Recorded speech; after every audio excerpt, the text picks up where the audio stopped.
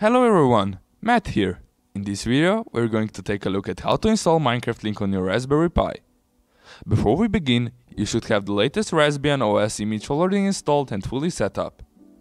In the terminal of Raspberry Pi, enter the following command and press enter. This will install everything necessary for the operation and start the Minecraft Link service.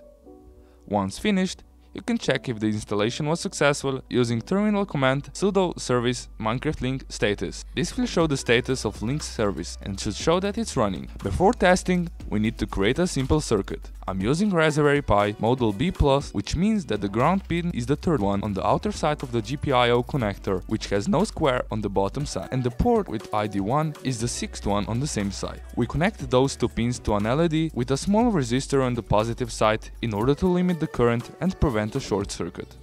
Now we need to test what we've done. If you haven't installed the Minecraft Link mod yet, be sure to check out the video on how to do that. You can find the link on the video or in the description below. Launch Minecraft and press the L key to open link menu. If the installation was successful, your Raspberry Pi should be listed available. Select it and press connect to connect to it. Now we can test the connection by creating a new world with cheats enabled and executing a few commands. On some networks, Pi might not show up on the device list. In this case, make sure you are connected to the same network. If it still doesn't show up, Check its IP address using ifconfig command. You can find it either under Ethernet 0 interface for wired connection or under WLAN 0 when wireless. In the link menu, click Direct Connect and enter the address to connect directly. Now we can check the connection using slash link device which shows the connected device along with the number of digital and analog pins. Now we can set our GPIO pin to be an output using slash link pin mode 1 out.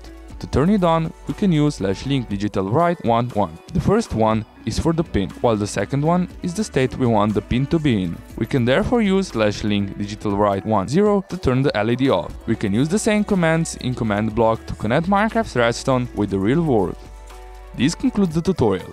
You can find the step-by-step -step text tutorial for Raspberry Pi installation on MCreator's website. You can also watch the previous tutorial on how to install Link in Minecraft and how to install it on Arduino. Links are in the description.